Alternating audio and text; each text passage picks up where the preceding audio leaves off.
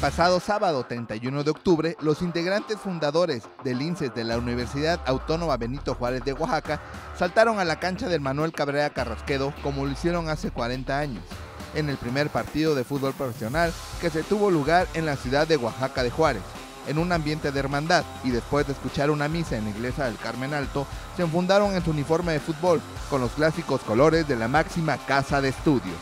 antes de jugar un partido amistoso contra un combinado de San Pablo Huistepec y con la presencia de Gerardo Meléndez Matías, director de Cultura Física y Deporte de la UAPO, en representación del rector, el licenciado Eduardo Martínez Elmes, se hizo entrega de reconocimientos a cada uno de los integrantes de aquel equipo histórico en la vida del fútbol profesional oaxaqueño. Los pioneros del fútbol profesional en Oaxaca son Enrique Pineda, entrenador, preparador físico Armando Hermida, doctor Héctor Cervantes y el secretario técnico del equipo Julio Ortiz, el capitán de los linces Ramón Domínguez, que en paz descanse, Jorge Galguera, que en paz descanse, Gustavo López Collins, Heriberto Madrid, Felipe Arandia, Ángel Espinosa, Armando Ordaz Luna, Exar Toledo, José García, Jesús López, Roberto Castellanos, Mario Martínez, José Antonio Maza, Rodolfo Teja, Florencio Budar, Santiago Reséndiz, Javier Ruiz, José Manuel Martínez, Armando Fernández, Guillermo Espíndola, David Ramírez,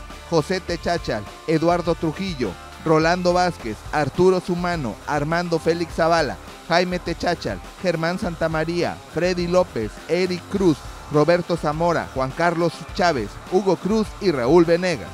Después de unas emotivas palabras del profesor Armando Hermida, los jugadores del INSES se tomaron la fotografía oficial. Los integrantes de este equipo estuvieron acompañados por sus familias y amigos. Después de las fotos y felicitaciones, los equipos disputaron un entretenido partido en el cual mostraron su calidad los pioneros del fútbol profesional en Oaxaca. Al término del encuentro, todos se reunieron por el rumbo de Santa Cruz con Jogotlán para disfrutar de una excelente comida y donde se pudo observar la gran amistad que conserva este grupo de históricos jugadores oaxaqueños. Con imágenes de Víctor Vázquez informó para MBM Deportes Alfredo Canseco Brena.